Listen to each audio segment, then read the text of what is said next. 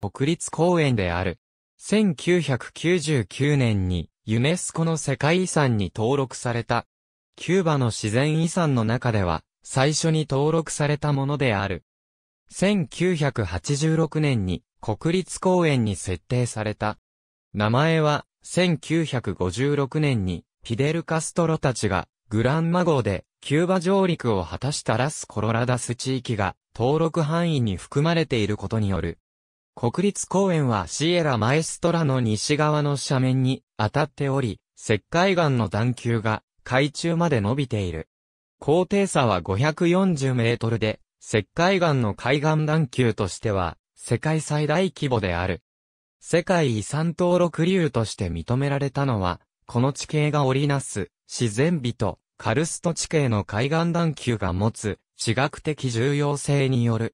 IUCN の世界遺産勧告書に記された物件名は、クルス岬の海岸段丘地形であった。地形の重要性が評価の中心とはいえ、固有種を多く含む動物賞や植物賞にも見るべきものは多い。哺乳類と鳥類に含まれる固有種は共に約23%にとどまるが、爬虫類は44種のうち40種、両生類は7種のうち6種が固有種である。また、500種の植物のうち60%は固有種である。国立公園の面積は418.63平方キロメートルで、そのうち世界遺産に登録されているのは325.76平方キロメートルである。残る92.87平方キロメートルは、干渉地域に設定されている。この世界遺産は、世界遺産登録基準のうち、以下の条件を満たし、登録された。世界遺産レベルの重要性は認められなかったものの、この地の生物賞に見られる、豊かな固有種の存在が重要なものであることは、IUCN も認めている。